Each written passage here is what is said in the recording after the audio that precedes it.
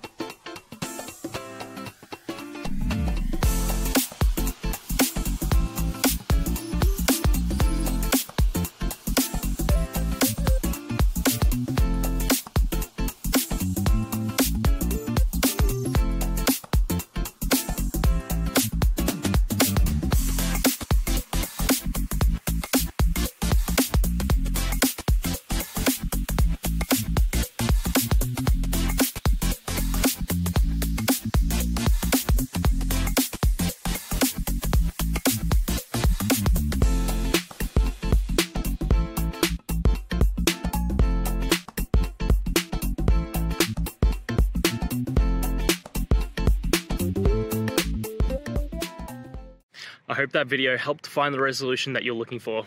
And if it did, please, I'd appreciate it if you could hit subscribe. Until the next time that you need more technical help, I hope you have a great one. See ya.